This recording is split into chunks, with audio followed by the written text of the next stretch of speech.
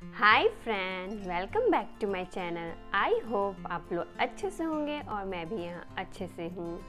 आज मैं आप लोगों के साथ शेयर करने जा रही हूँ घी बनाने की रेसिपी जो मैं घर पे ही बनाती हूँ घी और बहुत सारे लोग घर पे ही बनाते हैं घी पर ये मैं आ, वो दूध के मलाई से घी नहीं बनाने वाली हूँ।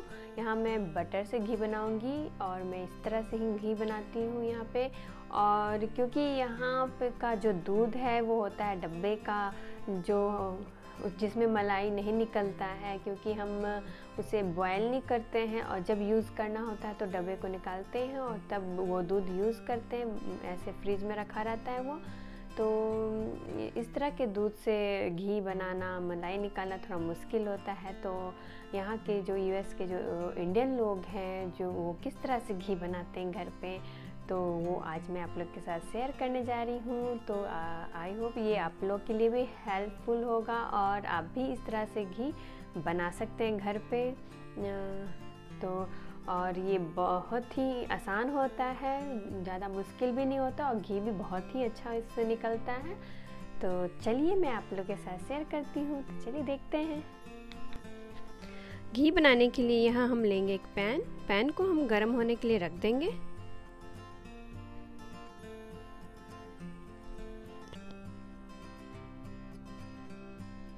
ये देखिए, ये है बटर ये अनसॉल्टेड बटर है। और इससे ही मैं घी बनाऊँगी। अगर आप भी बनाओगे तो इस तरह से देखिएगा अनसॉल्टेड बटर होता है, उसका घी बनाए उससे अच्छा बनता है। और मैं अब इसे डाल दूँगी। ज़्यादा गर्म पैन में नहीं रखना चाहिए। इसे जब पैन थोड़ा सा गर्म हो तभी बटर को डाल दे, ज़्यादा गर्म में नहीं। नहीं तो सारे एक साथ वो धुआँ सा जल जाएगा सारा और ख़राब, उसका जो स्वाद होता है वो ख़राब हो सकता है।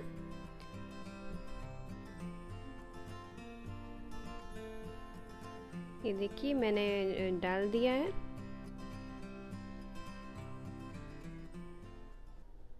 और मैंने यहाँ एक पैकेट बटर का ही घी बनाया है। उससे ही बहुत एक बॉटल तक के बराबर घी निकल जाता है। बहुत कम बटर में ही बहुत अच्छे से घी निकल जाता है। और इसे चलाते रहना है। इसे छोड़ना नहीं है। बीच बीच में आप छोड़ भी सकते हैं, पर ये चेक करते रहना है कि नीचे से ये जले ना।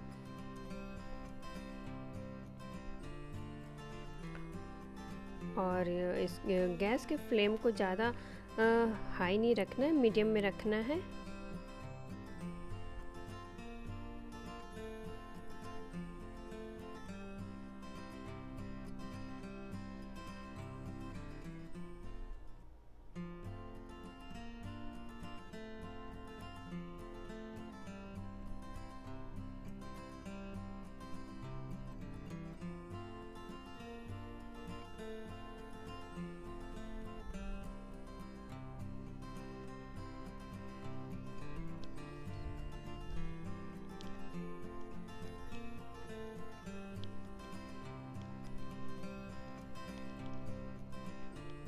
इस तरह से देखिए, चलाते रहना है।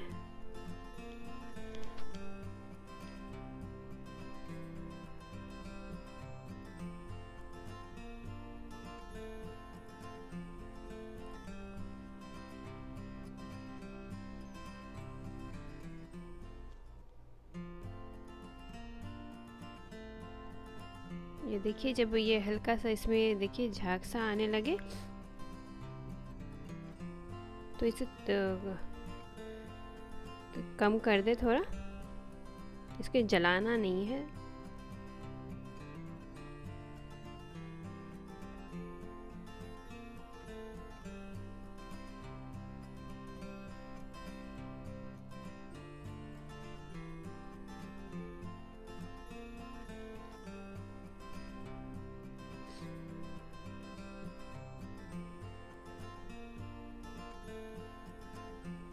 देखिए, ये कम बटर में ही बहुत अच्छे से घी निकल जाता है और इसमें ज़्यादा परेशानी भी नहीं होती है।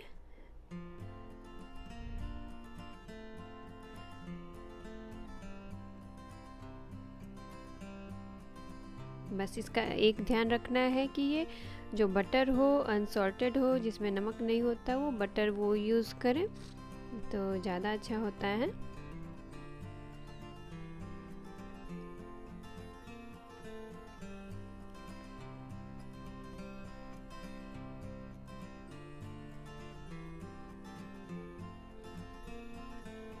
ये देखिए, ये जैसे ऊपर से मैं झाग झाग सा हो गया था तो मैंने गैस को बंद कर दिया है और इससे ठंडा होने के लिए छोड़ दूँगी।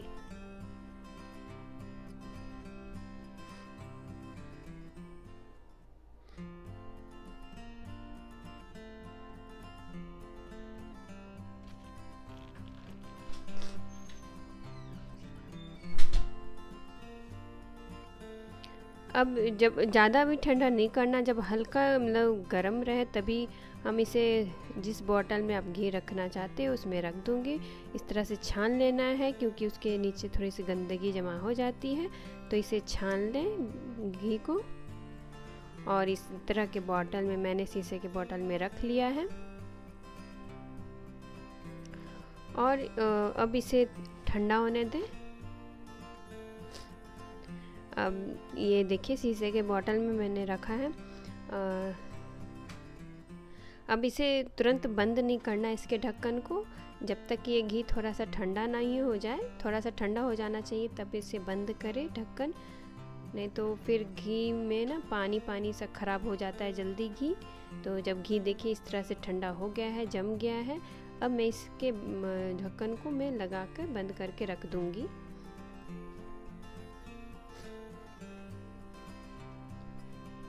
ये देखिए, घी बन के हो गया तैयार। आई होप आपको ये मेरी घी बनाने की रेसिपी पसंद आई होगी तो आप भी बनाइए घर पे इस तरह से घी। और इसी तरह बने रहिए मेरे चैनल पे। और अगर ये मेरी, आपको ये रेसिपी पसंद आई है तो इसे लाइक शेयर सब्सक्राइब ज़रूर कर दें। और तब तक के लिए bye thank you for watching